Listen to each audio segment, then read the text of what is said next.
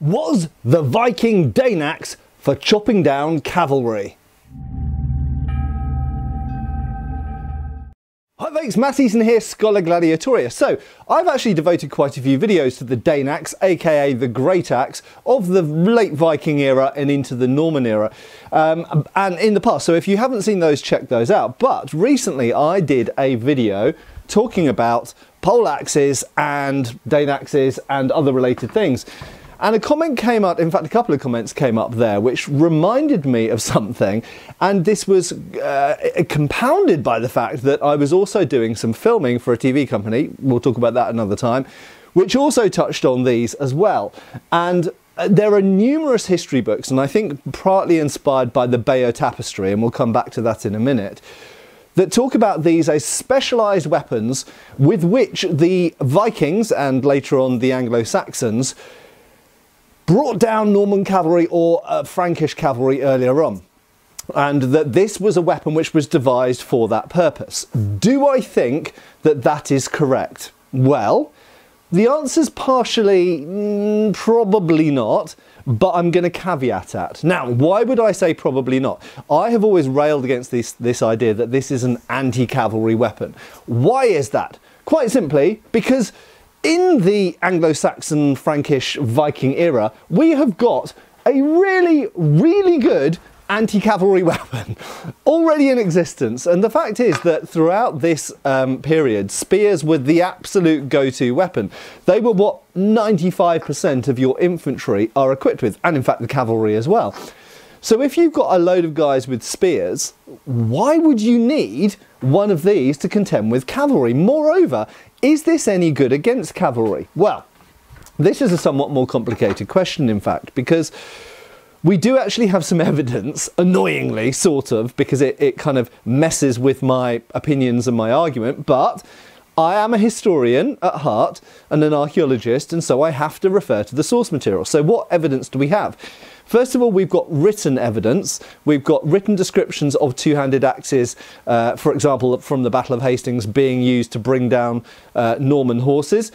Moreover, we've literally got artistic evidence of it as well because it is shown in the Bayeux Tapestry.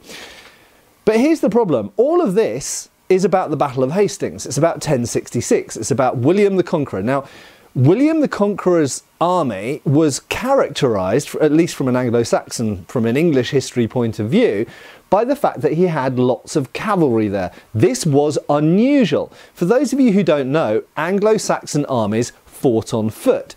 The primary kind of contrast between the Anglo Saxon or English army and the Norman and Breton army that was invading in 1066 at Hastings was the fact that one side had a huge number of horses and cavalry, you know, people who knew how to fight on them, and the other side probably had absolutely none at all.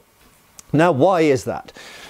We don't really know exactly why. The fact is that the northern Germanic tribes, the people who inhabited uh, England, the people who uh, inhabited Scandinavia, the northern Germans, the Danes, they don't seem to have really used cavalry. Now, there are some debated exceptions to this. There are some examples from written sources where it describes the Anglo Saxon army sweeping down on their enemies, for example, the Vikings, uh, sweeping down on a horseback. But the implication is that they arrived on horseback and dismounted and fought. In fact, all of the descriptive accounts, for example, the Battle of Maldon, uh, various um, various other Anglo-Saxon sources describe people fighting on foot. They never really describe people fighting on horseback, and there's no pictorial evidence to support it, and there's no archaeological evidence to support it. The fact is that large horses didn't really exist in Anglo Saxon England. It was the Normans that brought them over. Okay, the Romans had brought horses over long, long time in the past and there were probably some larger horses available to Anglo Saxons, probably imported from places like Brittany and Normandy. But by and large, they weren't indigenous to the British Isles. We had small ponies, we had little Dartmoor ponies and things like that we could have ridden around, but we always would have been outmatched, certainly by Norman cavalry riding bloody great horses. So, and that was true in Scandinavia as well. And when we read descriptions of the uh, Viking uh, era wars, the wars between the, the Danes and the, the Norse and the English, there's never any real mention of anything concrete and firm to suggest that cavalry was being used. Now, if we go across, I don't want to be too Anglo-centric here, which is something I get accused of sometimes. If we go across the channel to the Frankish Empire, the Carolingian Empire, the empire founded by uh, Charlemagne, well, you could say Charles Martel, um, but uh, Charlemagne and then people like Louis the Pious and all the people that came after. They were also fighting the Vikings. Now, we just in case you didn't know, this is very much a weapon associated with particularly the Danish and the Norse, okay, with the Vikings, the people that we now call the Vikings. Um, although that's a problematic term, we'll call them the Vikings because it's easy. So this is a, essentially a two-handed Viking axe. So these people in Scandinavia and uh, Denmark developed this specialised weapon. Was it for fighting the Franks? Um, now, the Franks definitely did have cavalry, and in fact, that's why William the Conqueror had cavalry in 1066, because despite the fact that, yes, he was descended in one part of his family line from, uh, from Vikings, the rest of his family line was Norman, so he was kind of Frankish, really. Um, and culturally, you know, he spoke a form of French, Norman French, and they fought in essentially the Frankish way with um, lots of cavalry and um, a fair number of archers as well. And archers were another thing which at this point weren't really part of English or Scandinavian uh, warfare very much. So, we've got very contrasting military technologies. The question is, do we think that people in Scandinavia, places like Norway and Denmark and, and uh, Sweden and uh, Finland, developed this weapon specifically for fighting the Franks? I can't see it. I, I honestly can't see why they would, because within their own country where this weapon developed, they're fighting each other. They're not fighting cavalry, they're fighting other shield walls and other other Vikings. In England, they're fighting people who fight very similarly to them with large round shields fighting in shield walls on foot. They don't have cavalry.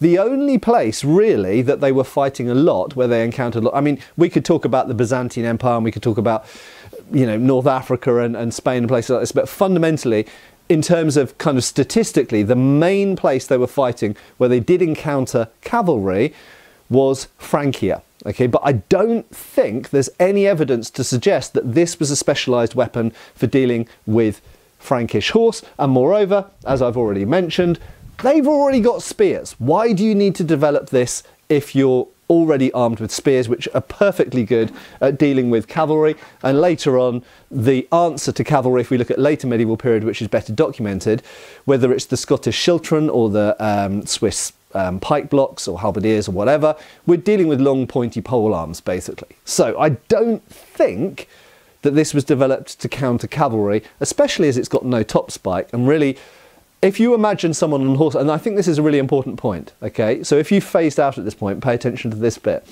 Cavalry have lances, so cavalry have spears. If you're standing on foot with a two handed axe, the spear on horseback is always going to be able to outreach you. So before you've got your swing in at that horse's head or legs or at the rider, they're going to be skewering you with a lance. It doesn't seem to make much sense. Okay, so there's my basic argument, but here comes the caveat and the problem to, to my argument and the thing which undermines it. And this shows, I hope this shows some degree of historic humility because I could just stop the video there and I've made my argument, I've made my point. Here is the counter argument. The counter argument is number one, we have these sources, written and pictorial, showing these two handed axemen taking down horses at the Battle of Hastings. So we know it probably happened, or at least they believed it happened and they wrote about it happening.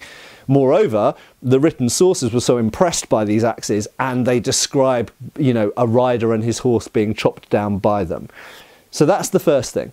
Secondly, we do also have other ethnographic and other historical comparisons, such as what? I'll just put the Dane axe down for a minute. So first of all, we have in Europe two-handed swords later on. And these swords are, while they're not primarily described as anti-cavalry we weapons, are also sometimes described being used against cavalry, in conjunction with spearmen and halberdiers, incidentally. And I'll come back to that point in a minute. Moreover, if we go all the way over to East Asia, if we go to China, then we have a comparison with the so-called horse cutting swords. So if we go to China, these massive two-handed swords were described as horse cutting swords. Now that there is some debate about that. Were they described as that because they were capable of chopping through a horse? Or were they described as that because they were used against cavalry or to defend against cavalry? Or were they described against that for some other reason that we haven't worked out yet? We don't know. Uh, but they are described as horse cutting swords. So here's the problem. We have large, but not massively long, not as long as spears and halberds and, and other pole arms like that. We have got two-handed sword or two-handed axe, and actually these are quite comparable in reach. We've got two-handed choppy things, choppy boys, if we call them that, that are allegedly, perhaps, used against cavalry and are in their own time and even in language and written sources described as anti-cavalry weapons. So, where does that leave us? This is a problem because, first of all, I don't think historically these were necessarily developed to fight against cavalry. But that doesn't mean that they weren't thereafter used to fight against cavalry. Okay, so even though the big two-handed sword in China might have been developed for one purpose, for example, bodyguards, and I'll come back to that point, and maybe this was designed as the berserkers or housecarls or retainers, you know, specialized noble weapon, and I think it probably was, and I'll come back to that as well. It doesn't mean that it wasn't therefore used against cavalry. How was it used against cavalry? with spears. I think it has to have been. So what we might be looking at, and I think there's some support, perhaps if you look at Bayeux Tapestry um, in this, and perhaps even if you look at the Chinese sources, that what you would have is you would have a group of people who were predominantly armed with spear and shield. If they were threatened by incoming cavalry, the guys with the axes might hang around behind the shield wall or spear block, if you want to call it that, pike block, and then when the horses came crashing in and disrupted that block, they might charge through, leap through, and start chopping down man and rider. And I think that this, and you could do that with two-handed sword as well, uh, if you didn't have a two-handed axe. I think this is plausible, and that's just a theory. I need more evidence. It'd be nice to find some written evidence that corroborates that. But that's a theory. I think if these were used against cavalry, and true of the two-handed sword as well, they have to be used in conjunction as part of a combined weapon system with polearms such as pikes, spears or halberds. Okay, that's the first thing. Finally, final part of the video, I think what were these developed for? I don't think they were developed originally for fighting cavalry, even if they were subsequently used that way sometimes. If we look at the art, um, uh, again, if we come back to Bayeux Tapestry or indeed the written sources, for, specifically for these axes, not talking necessarily about those swords, although you could apply to both, I think there is a lot of evidence to support that these were originally developed for bodyguards. Okay, they were developed for housecarls, as they were called. Now, if we look at the Bayeux Tapestry, it seems that the royal bodyguard carried these. The people close to the king or the earl, people who were around the figureheads. So your most important nobles would have personal retainers who were essentially a miniature standing army, unlike most of the army which was raised and levied when it needed to be when there was an invasion. These guys were permanently on hand. They were paid just to be soldiers. They were kind of like knights or samurai of later period, okay? And they seem to have been armed with these. Why? Well, because it's a specialised and fearsome weapon, uh, which probably strikes fear into the hearts of the enemy. But used in conjunction with your traditional spear and shield armed troops, you can probably use it in some quite interesting tactical ways, both as shock troops and as last ditch defence. And if we now come to the European two handed sword, the montante or spadone, we get some clues because in that period this weapon holds a very similar position either with the Landsknecht or with uh, bodyguards used on the top of ships to prevent uh, boarders or people used to protect bridges or passes. Um, it seems that this was a last ditch defence, protect the rear while the king or the earl escapes.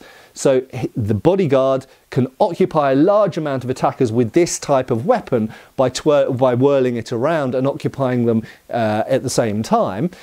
And that, therefore, is a very good troop, uh, very good weapon to give to your personal bodyguard. In later periods, you see things like glaives and and those uh, you and partisans as well used for bodyguards. And if we come back to the Battle of Stamford Bridge. So we're still in 1066, we're still in William the Conqueror era, but this is the Battle of Stamford Bridge, which happened just before the Battle of Hastings.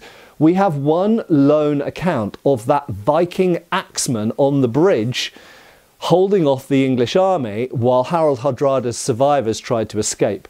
And apparently, you know, one, one source I've read says that he cut down 40 men and he was eventually speared from below, blah, blah, blah. But the fact is, this is exactly what I'm just describing. It's exactly how these montantes and spadones were described being used in the 16th century.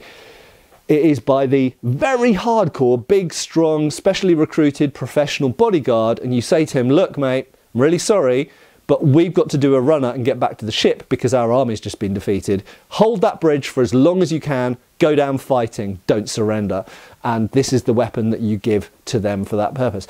And another clue, if we look at Bayeux Tapestry, is if we actually look at Harold Godwinson and various other nobles in the uh, English uh, side, you can see them often standing around with their great axes. So it's also a weapon of prestige and high status, like a sword. And it seems to have been in that period the weapon associated both with the housecarls, the personal royal bodyguard, and the actual royals themselves, potentially a weapon that the, that the lords sometimes carried, a bit like, you know, long swords later on. Uh, and very briefly, it seems to some extent large two-handed swords might have occupied a similar place in China as well and being given to bodyguards uh, and being used in a similar capacity to two-handed swords uh, in Europe. Anyway, I hope that's given you some stuff to think about. Therefore, you know, in as a rough sort of brief summary, I don't think these were developed as anti-cavalry weapons, as some modern books have said or some TV shows have said. But I do think they were definitely used that way sometimes. I think they must have been used combined with the spearmen in order to work, otherwise they'd always be outranged and outreached by the lancer on horseback. But finally, I think the primary purpose of why they developed was essentially as a bodyguard's weapon, much similar to the later massive Zweihander two-handed sword. I hope that's been thought-provoking. Uh, if you disagree, or if you know some other sources that might be exactly pertinent to this point or to this question, or prove me wrong or prove me right, then get posting below and I look forward to your contributions. I have been Matt Easton, I will continue to be, and hopefully I'll see you back on the channel really, really soon. Cheers, folks! Thanks for watching. We've got extra videos on Patreon. Please give our Facebook a like and subscribe if you haven't already. Cheers, folks.